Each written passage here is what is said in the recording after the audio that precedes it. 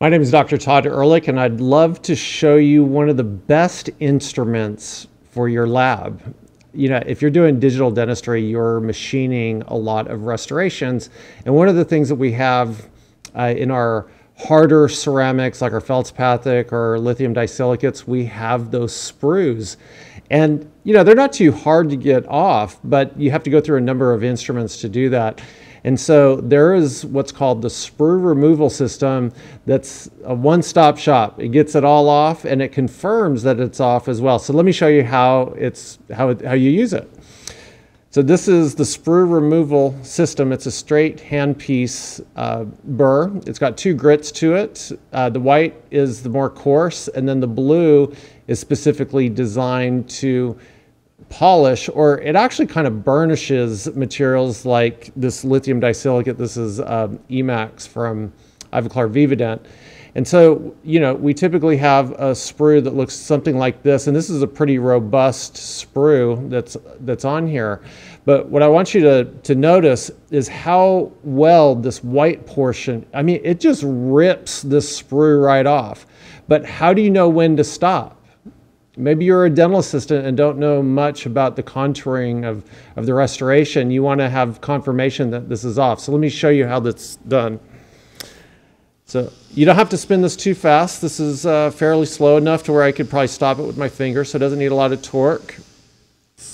And then what you're noticing here is the white portion will just remove this, okay?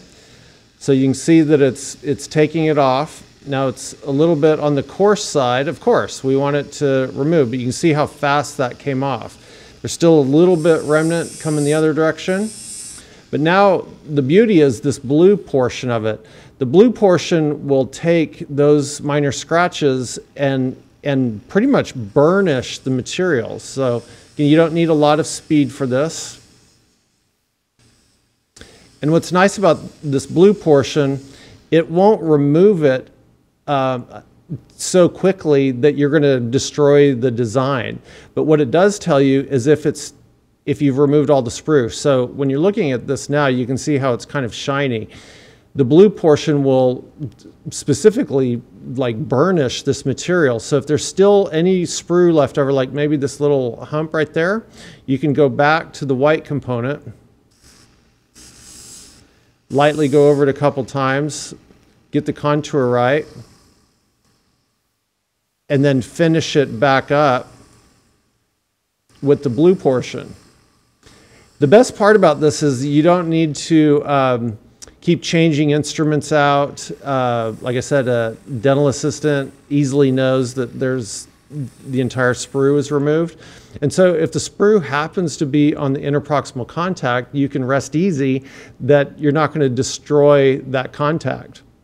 One other little trick that I've learned with this What's neat about this, uh, the shape of this is that this corner you see right here, kind of towards the shank, you can use it to, get back in the picture here. You can use it to refine uh, grooves, like this distal buccal groove. We can put it right in there and sharpen up cusp tips. So we got that sharpened up. And then you can go in and use the blue component to flatten it out or smooth it. You know, this isn't really something that's uh, needed a lot because this is mainly made to get the sprue off, but like if you're making um, uh, developmental grooves on centrals, this is a really good contour because it's so wide. I think probably one of the best things about the, this instrument is that they last a long time. You can get a lot of life out of them. And so what I'd like for you to do is uh, check out the sprue removal system from Wagner Rotary.